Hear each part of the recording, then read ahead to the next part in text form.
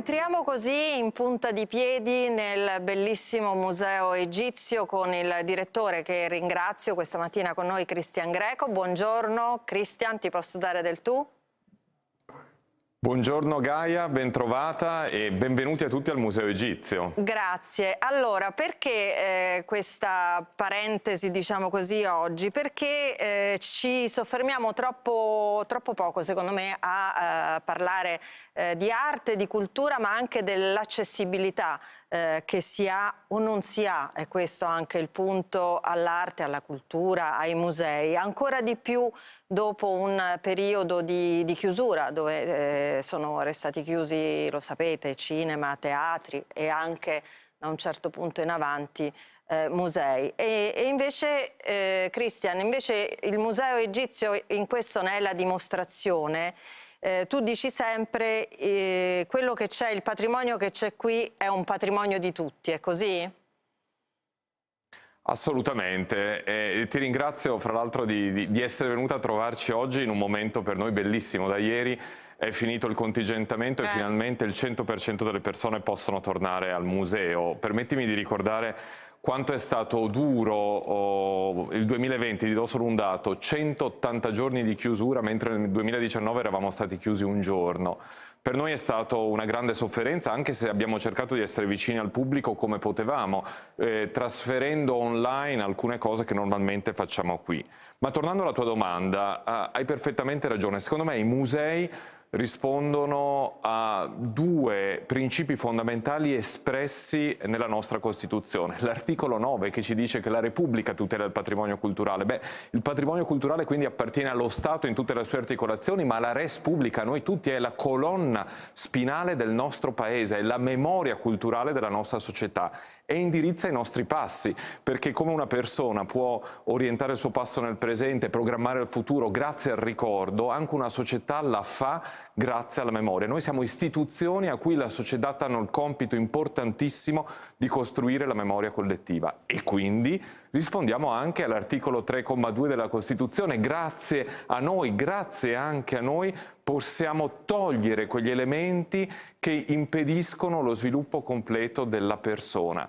Eh, molto spesso l'ingresso al museo, il gradino viene visto come invalicabile. Noi da anni stiamo facendo tantissime operazioni per dire che il museo è la casa di tutti, è il luogo in cui ci si può formare e accrescere culturalmente e cerchiamo di farlo con il mezzo più importante che abbiamo, ovvero la ricerca, cercando di studiare le nostre collezioni e dando nuove risposte anche in maniera innovativa. Senti, quando eh, ci, siamo, ci, siamo, visti poche settimane fa a Firenze in un bellissimo festival, ehm, ci raccontavamo di come l'accesso, no? il primo accesso al museo solitamente è quello della scuola, no? quando la scuola, cioè io mi ricordo, no, ti portava in gita al museo e non era esattamente di solito un approccio, cioè era semplicemente un modo per uscire dalla classe e fare un po', però io ricordo che spesso era noiosissimo questo momento, insomma c'è anche questo dato, no? E tu in questo stai, stai riuscendo facendo moltissime cose, cioè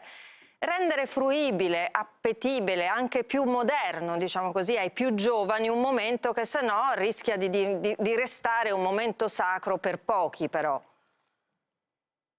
Assolutamente, allora guarda, eh, se mi permetti in un minuto di ricostruire un attimo oh, la, la, storia del museo, a, a, questo mi sono dedicato anche assieme alla Presidente Cristellena, abbiamo scritto un libro, Le memorie del futuro, in cui ci siamo interrogati su, su, cosa sia il museo.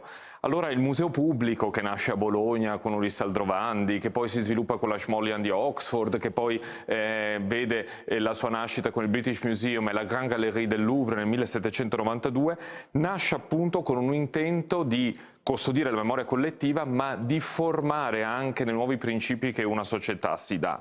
Come possiamo fare oggi? Come si può reinventare il museo? Beh, sai, forse il Covid ci ha dato un'accelerazione. Io dico sempre che noi siamo l'enciclopedia materiale delle generazioni che ci hanno preceduto, però oggi, grazie alle nuove tecnologie, possiamo anche cercare di rendere comprensibile tutto quello che noi abbiamo. Alle mie spalle vedi, ad esempio, una magnifica statua, è la statua della principessa Regit. Siamo in terza dinastia eh, all'età di Djoser.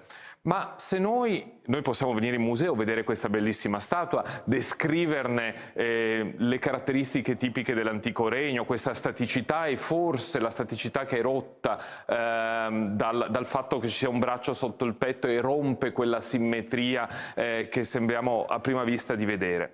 Però se noi ricostruiamo il paesaggio, se noi riusciamo a reinserire questa statua all'interno della necropoli, se noi ricostruiamo il paesaggio antico, allora tutto assume un valore diverso.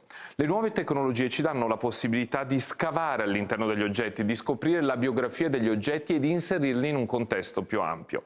Noi al Museo Egizio abbiamo in questo momento, e sarà aperta fino a fine anno, una mostra che si chiama Archeologia Invisibile. Ecco, quell'invisibile è quello che molto spesso i musei tengono per sé. I musei fanno ricerca, fanno ricerca filologica, storica, storico-artistica, archeometrica, ma molto spesso non la comunicano al pubblico. Noi abbiamo voluto trovare una maniera per comunicarla e i risultati sono stati molto incoraggianti. Da lì vogliamo partire per fare formazione alle scuole, agli insegnanti, ai ragazzi, ma per dire loro venite al museo non in gita una volta all'anno, ma venite a formarvi costantemente. Abbiamo 4.667 musei in questo paese, abbiamo la fortuna di poter analizzare tutto l'arco dello sviluppo dell'umanità dalla preistoria all'arte contemporanea.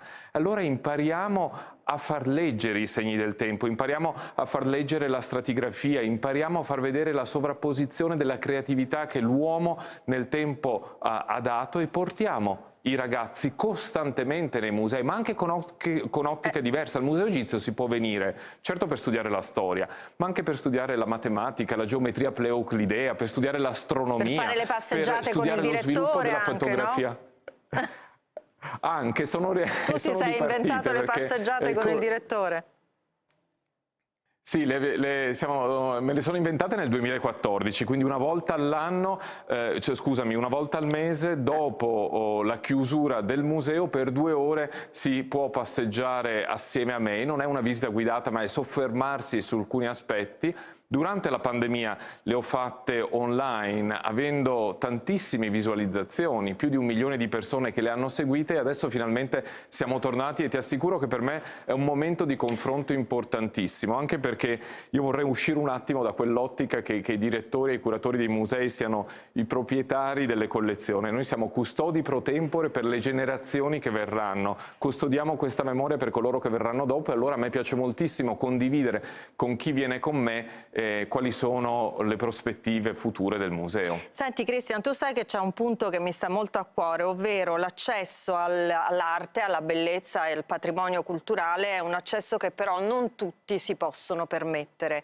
Da questo punto di vista tu eh, con il Museo Egizio eh, fai tante iniziative, ci sono tante forme diciamo così, di accesso anche eh, gratuito.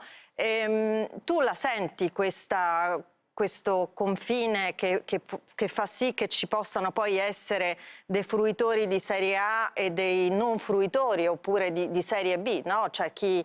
e, volevo anche chiederti una cosa, prima di rispondere a questa domanda volevo che tu ricordassi eh, così, come nasci tu da piccolo, cosa facevi, come diventi con la tua passione arrivi ad essere, perché è importante come messaggio. Sì, allora eh, ti rispondo nell'ordine appunto come mi hai chiesto tu oh, da questo secondo quesito.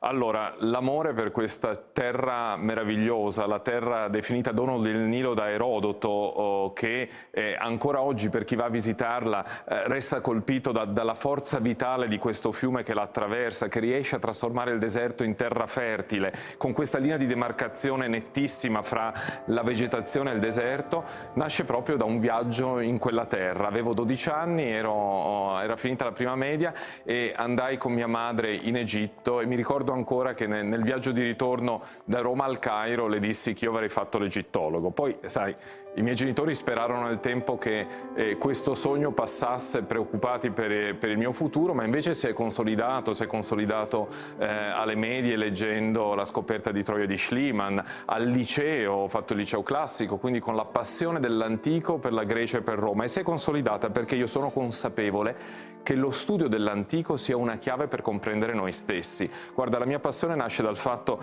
tutti noi, eh, ma in maniera più o meno consapevole ci interroghiamo sulla nostra esistenza, il perché della vita, della morte, del dolore, della caducità eh, dei nostri giorni eh, eh su, su, questo pianeta.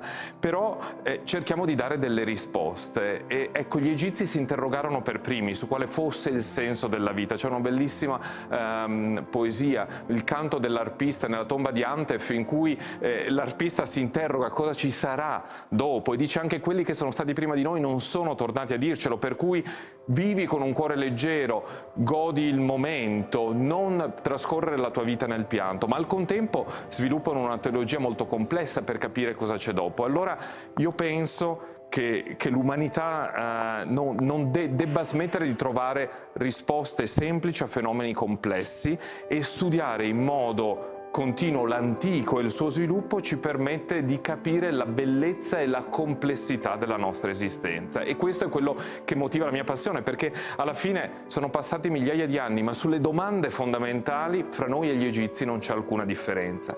Ecco e questo concetto dovrebbe passare a tutti. Hai posto un problema fondamentale sull'accessibilità, accessibilità economica e accessibilità cognitiva.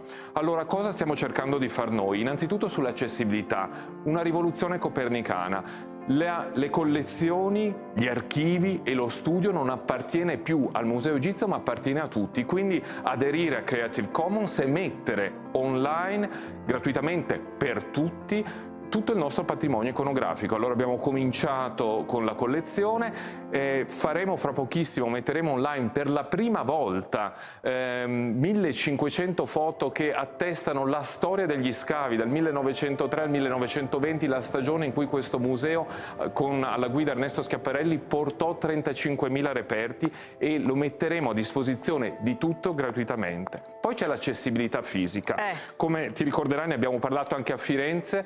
Eh, io voglio studiare un modello che debba essere sostenibile per arrivare alla uh, gratuità di accesso in un tempo oh, medio. Speriamo fra cinque anni di poterci arrivare. Perché dico questo?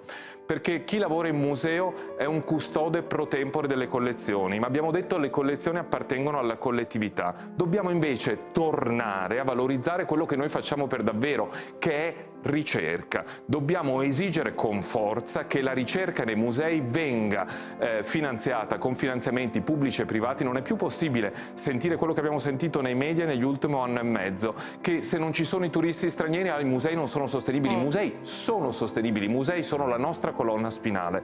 E se diamo vita alla ricerca, la ricerca dà anche vita all'innovazione e questo ci permette poi eh, di avere una sostenibilità anche economica. Quindi cosa, cosa intendo dire? Apriamo l'accesso ai visitatori in forma gratuita, sviluppiamo invece forme di accrescimento culturale, visite guidate, visite immersive, certo. la ricostruzione virtuale del passaggio antichi e per questo chiediamo a chi lo vuole fare il pagamento di un biglietto, non per, innanzitutto per la nostra sostenibilità, ma in poi anche perché questo permette di continuare a finanziare ricerca e innovazione. È chiarissimo, grazie eh, Cristian, grazie di averci raccontato il Museo Egizio. Ti volevo dire una cosa, che io non ci sono mai stata al Museo Egizio, quindi... Allora Gaia, Vengo, la prossima passeggiata col direttore la, sì. la faccio con te, ti aspetto Vabbè. la prossima passeggiata col direttore. Grazie, grazie, buon lavoro Cristian, grazie davvero per tutto quello che fai. Grazie. Adesso c'è Andrea Pancani, eh, Coffee Break, noi ci vediamo domani mattina, arrivederci.